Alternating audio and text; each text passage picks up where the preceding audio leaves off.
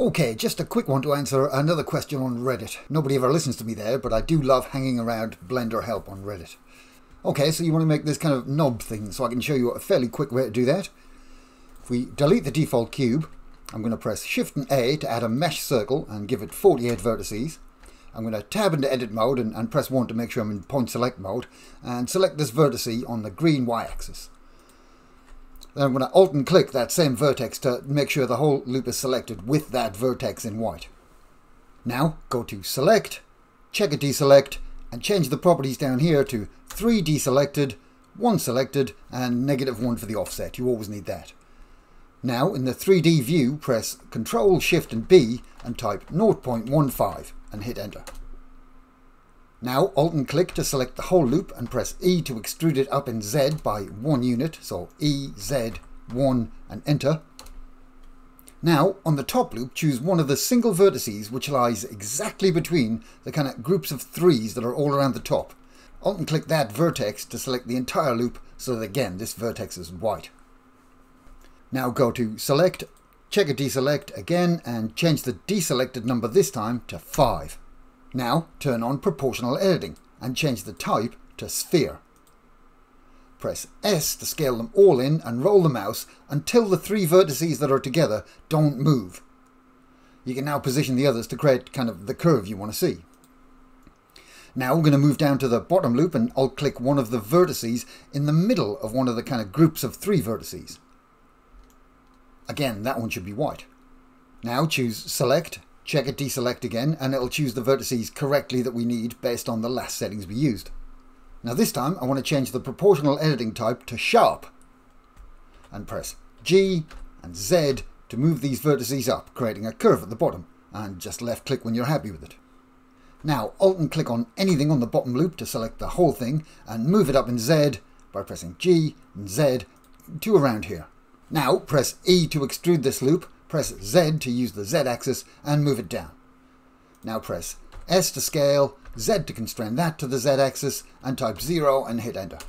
Now Alt and click the top loop to select it, press E to extrude, then S to scale and move it in a bit.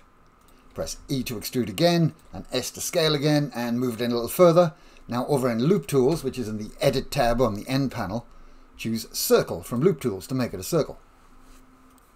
At this point, we're going to need to recalculate the normals, so press A to select everything, and then just press Shift and N, which does that for us. Now, Alt and click this top loop of the bumped area.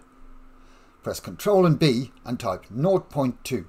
Roll the mouse wheel until there are exactly three loops. Now Alt and click the curved bottom loop.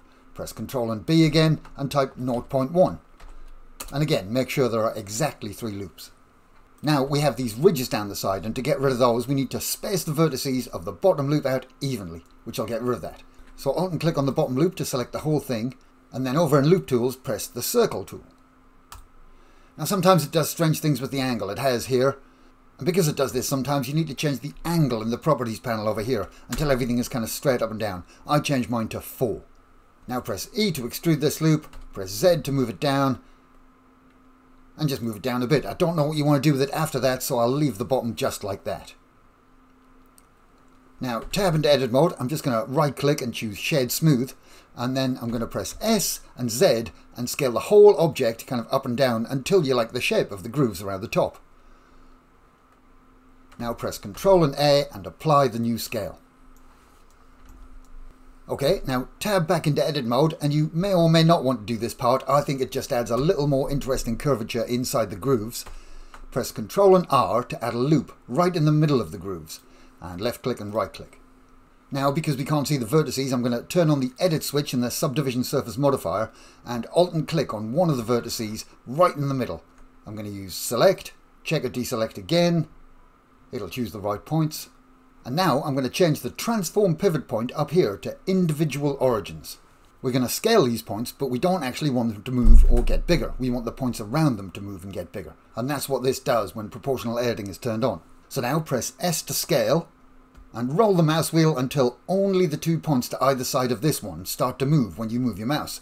Scale them out a little this way and that's done. Now for the top, I think it was kind of a little handle thing, so I'm just going to quickly make that by extruding, scaling, and moving the loops.